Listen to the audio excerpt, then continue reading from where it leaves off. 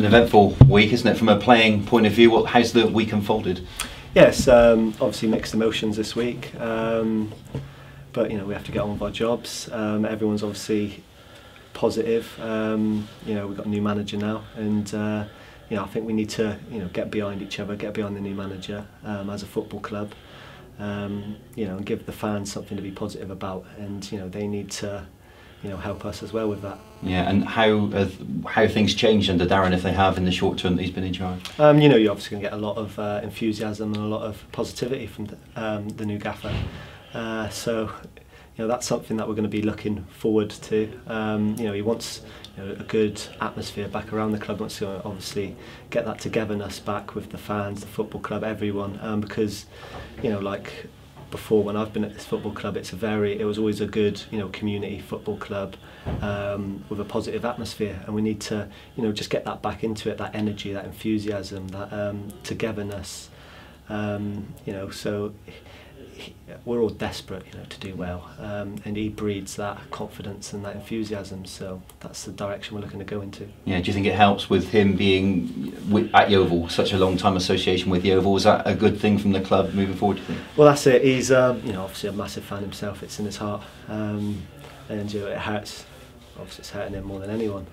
Um, so it's it's good because his character um, I think is perfect for it as well because like I said he is he's very enthusiastic. Um, he's obviously got great work rate as a player and as a coach and you know it will be as a manager. Yeah and now of course you, your first game back here is it, well first game under Darren at Huish Park. Is that a help or a hindrance?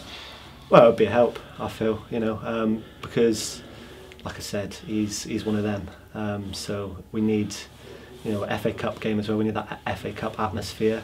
Um, so you know it could be a, a very big you know um, positive game for us Saturday. Yeah, and is it uh, not only that good to be away from the league in a way? So you've got a chance to, you know, to sort of find your feet if you like, uh, before you get back into the bread and butter of the league. Maybe, um, yeah. I'm one of them. I just want to keep. If you lose in the league, I want to play the next game. Simple as that. Don't want to. Just want to go on to keep trying to win the next game. Um, but you know the, the cup game's important as well. It's important for the football club, obviously, to get.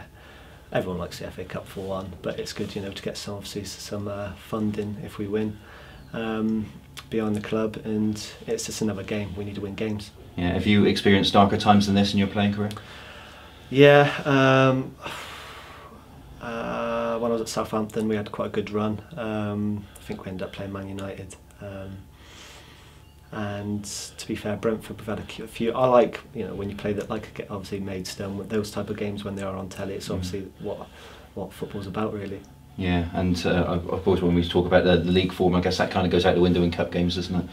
That's it. Um, but it's something to build on. We've, we've got obviously fresh ideas, a fresh way that the club you know wants to go.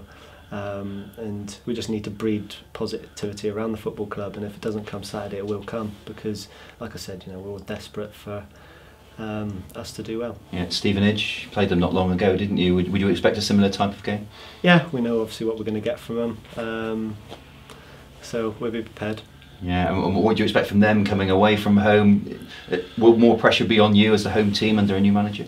I think it always is at home anyway. Um, but that's something you know we're going to have to deal with. And at the end of the day, it's you know like I said, we just need to go out there, be positive, stick to our game plan, and you know get the fans behind us. Hopefully, there's a good atmosphere because everyone likes the FA Cup. This club's obviously got good history in the FA Cup. So you know it's something you know we can all look forward to as a club. Yeah, and how can you, as players, turn the season around? Well, that's it. You know, we have to do it. Simple as that. Um, and that's what we we need to do desperately at the moment. Um, things obviously haven't been going our way. I don't think we've, we've been far off it. Um, just a little, you know, a few bits of change here and there. I think, but we've definitely got the players to do it. Yeah. Good luck. Thank you very much. No problem. What's it like, Ryan, with a, with a manager leaving halfway through the season? Is it something you've experienced before in your career?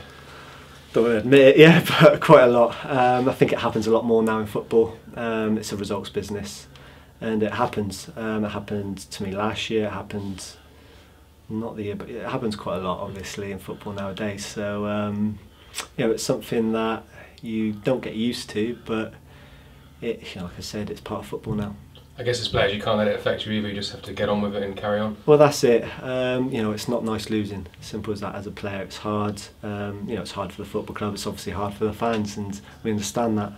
Um, but you've got to understand it isn't something that players like, especially it's not something I enjoy one bit.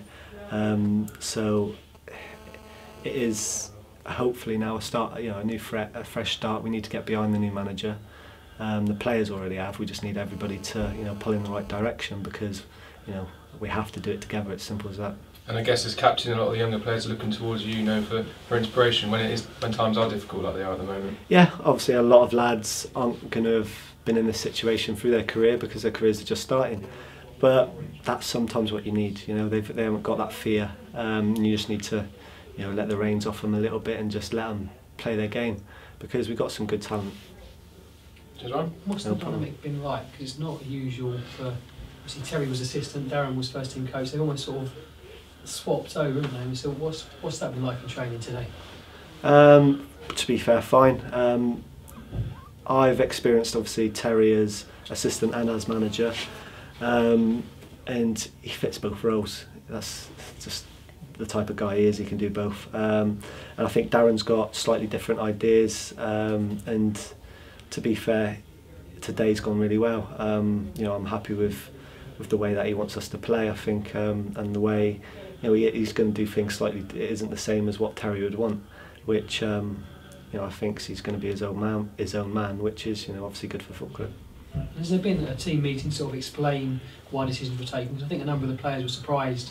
Obviously, Darren goes above Terry and that sort of thing. Has there been a an overall meeting to just sort of explain the decision making? Not really. Um, it was obviously the decision which the board have made. Um, And like I said, I think he's 100% ready for it. He's, um, you know, uh, shall I say, you know, he studies the game very well. He's football through and through.